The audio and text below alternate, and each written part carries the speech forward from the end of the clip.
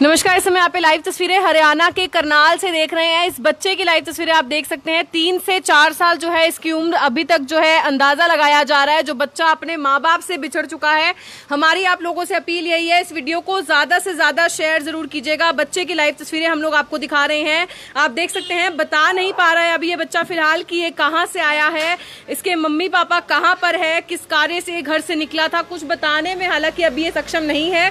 हमारी आप लोगों से अपील यही रहेगी की वीडियो को ज़्यादा से ज़्यादा शेयर ज़रूर कीजिएगा, क्योंकि पहले भी जितनी बार भी ऐसा हुआ है कि बच्चे अपने माँ बाप से बिछड़े हैं या कोई बुज़ुर्ग अपने बच्चों से बिछड़ा है तो हमेशा आपने जो है उन्हें उनके माँ बाप से मिलवाया है। और हमारी एक बार फिर से आप लोगों से अपील है, बच्चे की लाइव तस्वीरें आप लोग इस समय देख रहे हैं, ज़्यादा से ज़्यादा इसे शेयर ज़रूर कीजिएगा। एक बार हम लोग बच्चे से बात करने का प्रयास ज़रूर करेंगे, बच्चे से पूछताछ करने की कोशिश करेंगे कि कहाँ से वो आया है।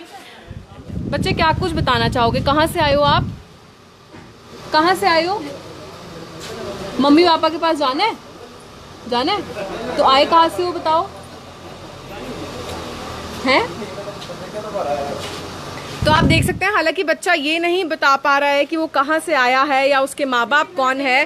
सिटी थाने से इस समय आप लाइव तस्वीरें देख रहे हैं जो पुलिस के कर्मचारी हैं यहाँ पर उनके द्वारा बच्चे को बिस्किट खिलाया गया ताकि बच्चा जो है यहाँ पर आराम से बैठ सके किसी तरीके से डरे ना। बहुत ही छोटा बच्चा है आपके एक शेयर से शायद ही अपने माँ बाप से मिल सकता है क्योंकि शायद कोई ऐसा हो सकता है जो इनके माँ बाप से को जानता हो या इन, इसके माँ बाप किसी के घर काम करते हो या किसी भी तरीके से जो है लिंक बन सके। हमारी आप लोगों से अपील यही रहेगी जितना ज़्यादा हो सके वीडियो को शेयर ज़रूर कीजिएगा। ताकि इस बच्चे को इसके माँ बाप से मिलवाया जा सके। लाइव तस्वीरें हम लोग आपको दिखा रहे हैं। महिला पुलिस हमारे साथ यहाँ पर मौजूद है सिटी थाने से। एक बार हम उनसे जानना चाहेंगे कि क्या कुछ जानकारी उन्हें अभी तक पता लग पाई है इस बच्चे के बारे में। मैम क्या कुछ बताना चाहेंगे? इस बच्चे ने कुछ बताया है कि कहाँ से आया है या किसी तरीके नहीं मैडम इसने कुछ नहीं बताया।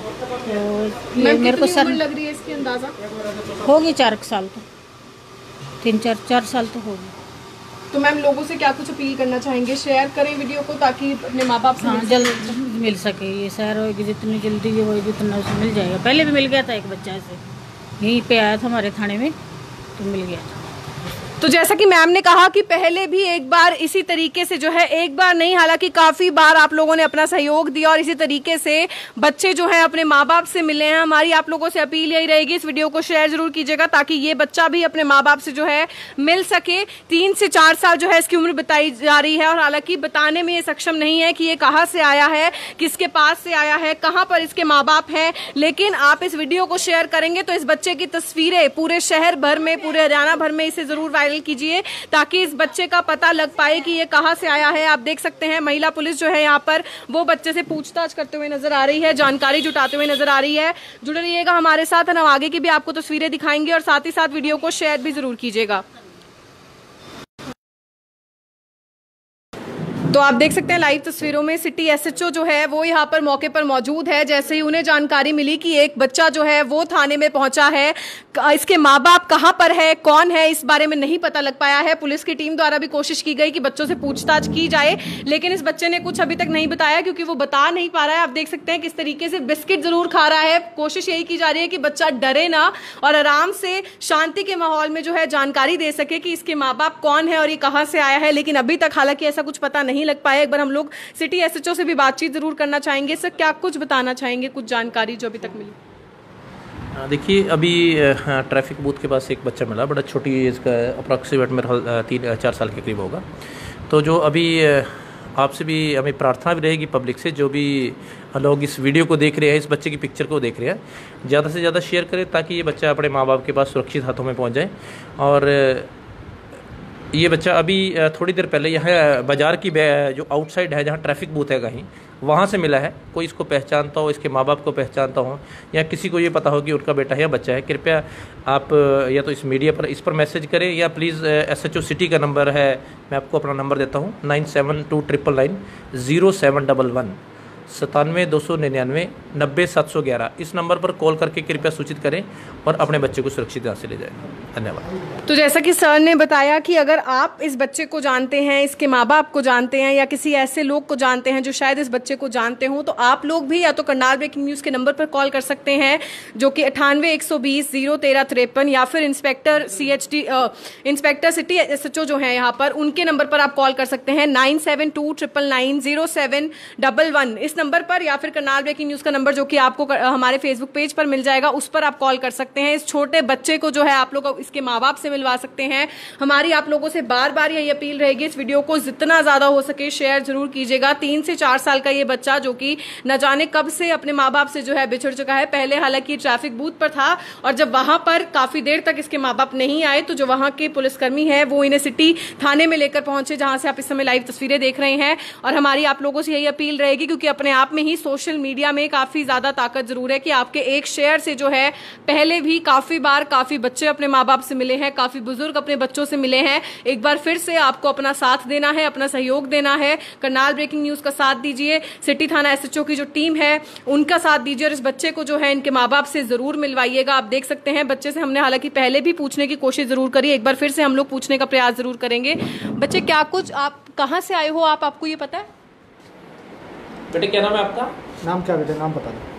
फिर पैसे देंगे आपको जो कहाँ से आए हो बच्चे? अपने मम्मी पापा के पास जाना है?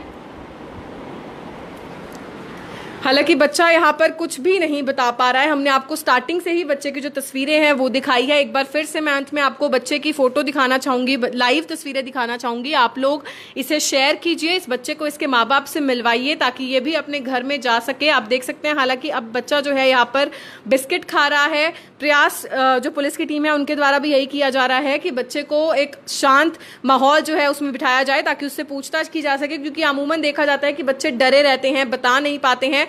तो यहाँ पर जो है प्रयास ज़रूर किया जा रहा है कि बच्चा बिल्कुल आराम से बैठे और हमारी आप लोगों से अपील यही रहेगी, आपको अपना इसमें साथ देना है कि इस वीडियो को शेयर करके, इस बच्चे को इसके माँ बाप से मिलवाना है। लाइव तस्वीरें हमने आपको दिखाई सिटी थाने से, किस तरीके से तीन से चार साल का बच्चा जो कि हालाँकि पहले ट्रैफ़िक बूथ पर था और जब वहाँ पर उसके माँ बाप का कुछ भी पता नहीं लग पाया तो उसके बाद जो है इस बच्चे को सिटी थाने में जो है लेकर आए और अब आप देख सकते हैं सिटी थाने से लाइव तस्वीरें, बच्चे से हमने बातचीत करने की प्रयास ज़रूर करी, लेकिन यहाँ पर बच्चा जो है कुछ बता नहीं पा रहा है, लेकिन हमारी आप लोगों से अपील यही रहेगी, इस वीडियो को जितना ज़्यादा हो सके शेयर ज़रूर कीजिएगा। इस बच्चे को इसके माँ बाप से मिलवाना है। हो सकता है करनाल का या आसपास के एरिया का या बच्चा हो, या काफ़ी, अब क्योंकि लॉकडाउन के चलते काफ़ी हमारे मजदूर ऐसे भी हैं जो कि पैदल रस्तों पर निकले हैं तो कहीं उनमें से किसी का ये बच्चा ना हो तो आप लोगों को इस वीडियो को शेयर इस बच्चे के लिए करना है, ताकि ये अपने माँ बाप से मिल सके। आप देख सकते हैं, तीन से चार साल का ये बच्चा है। तीन फुट के करीब इसकी हाइट है। सिटी थाना से आप इस समय लाइव तस्वीरें देख रहे हैं। बच्चे को यहाँ पर पुलिसकर्मी जो है वो लेकर आए ताकि यहाँ पर बच्चे की देखभाल भी की जा सके और साथ ही साथ अगर इसकी कोई भी जानकारी मिलती है इनके पेरेंट्स की तो यहाँ से वो लेके जा सके। एक बार फिर से मैं आप लोगों को नंबर बताना चाहूँगी। अगर आपको इनके पेरेंट्स की या इस बच्चे के किसी भी परिजन की कोई भी जानकारी है तो आप लोग इंस्पेक्टर हरजिंदर सिंह को कॉल कर सकते हैं, जिनका नंबर है nine seven two triple nine zero seven double one या फिर आप लोग करनाल ब्रेकिंग न्यूज़ के हमारे नंबर पर कॉल कर सकते हैं।